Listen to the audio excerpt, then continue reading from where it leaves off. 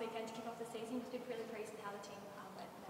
Yeah, I think um, it was a good reflection of our pre-season that we've had. Um, a lot of hard work. Um, I thought the team connection was really well, um, especially in defence, to hold a team like them to two tries. They only scored one um, when we had Hudson in the bin for being a naughty boy, and then to hold them out for you know till the end, last two minutes, I think they scored, which was really pleasing for us. I think. How important is it to continue that momentum into this weekend's first home game? Yeah, I think that's the challenge for us. Um, last year we tried to talk about consistency and we, we didn't deliver, and um, we got an opportunity this week to go um, first home game of the year as well to put a big performance there.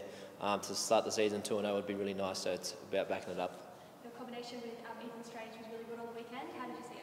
Yeah, it's good. Obviously, I got him as a roomie now too, so I get to understand um, him a little bit more away from footy, which is really good for our um, relationship. But I thought, you know, Ethan's going to be a great player for the club. We just need to let him find his feet, give him 50, 60 games, and um, judge him from that. We can't judge him from, you know, a month of football or, or six weeks. We've got to give him some time. And the big inclusion was Sebastian Kris back into the team this weekend. What does he bring to Yeah, Sebi brings a lot of energy to our team. Um, he's very fast as well with the um, ball in hand, so um, another strike weapon for us on the left edge. But I think um, his mindset defensively is going to stiffen up our edges as well, which is going to be good for the team. I know Ethan had had a game already in NRL, but to now have one under his belt in the halves, how much is that going to help him? Yeah, I think he probably would have been nervous, as we all would have been. Um, first game in the number six jersey. Um, so hopefully all the nerves and jitters are gone for him, and obviously he's got another opportunity this week to, to partner up with myself. And like I said, I just hope everyone gives him a little bit of time to find his feet. Um, I think he's going to be a great talent for us. Um, you know, we just got to let him be Ethan.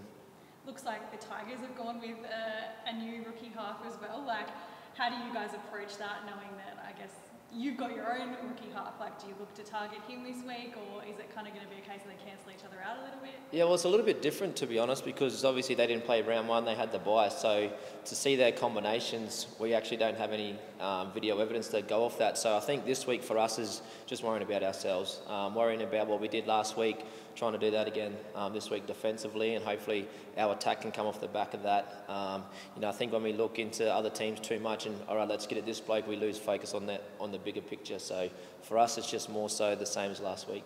For you, like, how nice is it to see that? I know it's only been one game, but that attack flourishing this year. Yeah, I think it was good. Obviously, we built it on the back of hard work, kicking to corners and making sure we gave ourselves an opportunity getting through our sets. Um, last year, we were kind of fumbling our way through tackle two, tackle three errors where I thought on the weekend we gave ourselves plenty of opportunities, and hopefully we can do the same. And then the more opportunities we give ourselves, the more we can throw the ball around and, and play our style of football. So I think that's that's the key for us moving forward.